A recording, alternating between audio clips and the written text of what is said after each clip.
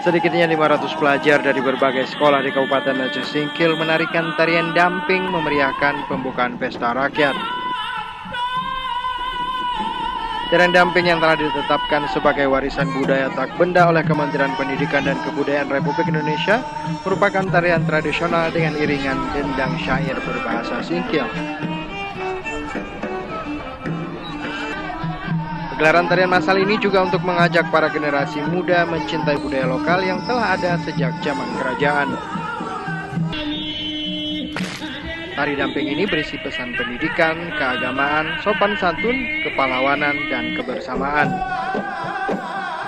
Selain menampilkan tarian masal, Pesta Rakyat menyambut ulang tahun Kabupaten Aceh Singkil ke-17 yang digelar di Stadion Kasim Tago, juga menampilkan pameran pembangunan dari berbagai instansi pemerintah.